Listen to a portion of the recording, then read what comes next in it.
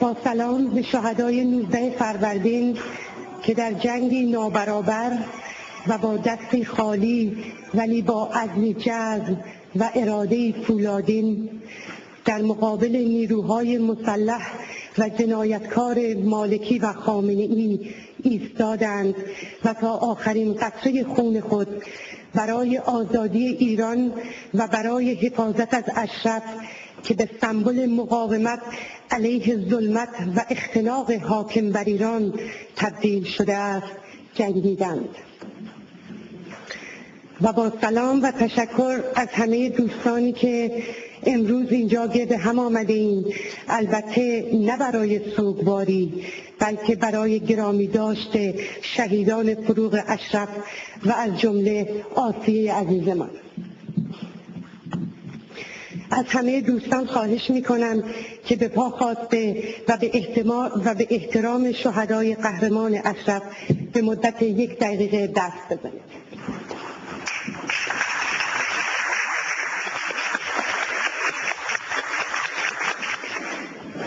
همونطور که می‌دونین آسیه دوران کودکی و نوجوانیش رو در شهر آلبانی و در کنار خانواده یزدان پناه سپری کرد. بسیاری از ما خاطرات خیلی زیادی از آسیه داریم و در بین این جمع ادهی از جوانهایی رو می‌بینم که جزء همبازی های آسیه بودند و مطمئنا خاطرات زیادی از آسیه دارند و اوقات زیادی رو با آسیه بازی کردند و به هر صورت از بهترین دوستهای آسیه بودند با اینکه قبول شهادت آسیه برای ما همه بسیار سخت بود ولی این رو می‌دونیم که آسیه از بین ما نرفته و همیشه در یادها و قلبهای ما زنده خواهد بود.